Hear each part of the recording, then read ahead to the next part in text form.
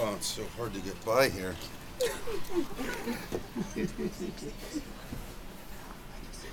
this is just like literally might be the greatest day of my life. Got food. Oh my god. Is every Friday this Friday? Yes, Yeah. Fridays are a good day.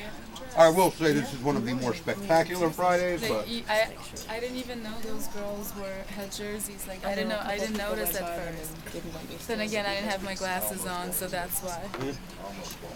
Pretty wild. I was like, oh, they're jer- they're not. I know.